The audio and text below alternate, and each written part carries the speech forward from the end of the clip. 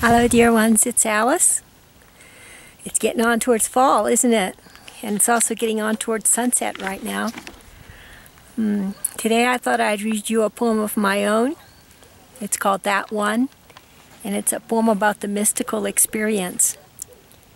Let's see, maybe I better just put my glasses on.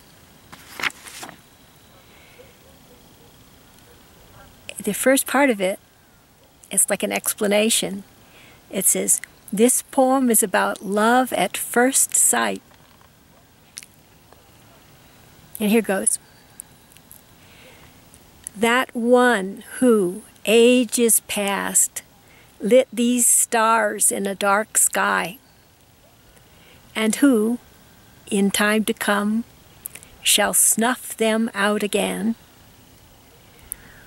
who moved those mountains there up from the cold earth and stirs like blue light across the faces of the holy congregation.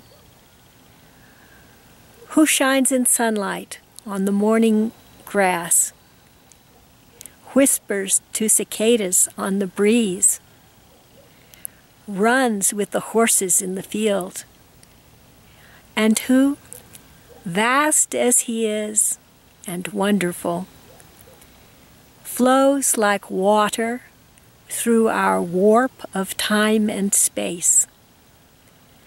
That one dwells in my heart, speaks to my soul with every breath I breathe.